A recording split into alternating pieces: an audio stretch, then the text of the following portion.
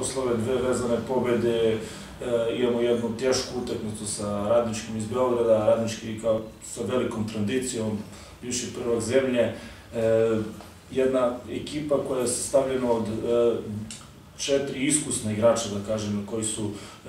i, u, i u prvoj ligi i u svakom rangu takmičenja zapaženu ulogu uvijek imali u svojim klubovima i dosta tih beogradskih igrača koji su mlađi, koji su željni minutaži i dokazivani. Sigurno su naj, najbitniji igrači Petrović koji prošle godine igra u Zrenjanu centar, Uroš Lučić, Dunđerski, e, Valjarević, znači to su sigurno njihove okosnice, ali kada pogledamo sve statistiku i njihove utakmice, e, imamo jedan podatak da njih 10-11 igrača igraju u istom ritmu i drže taj ritam utakmice, što može biti veliki problem. E, što se nas tiče, mi smo spremni sigurno da, da imamo samopouzdanje i dobru atmosferu posle, e, posle ove dve pobede, jer smo u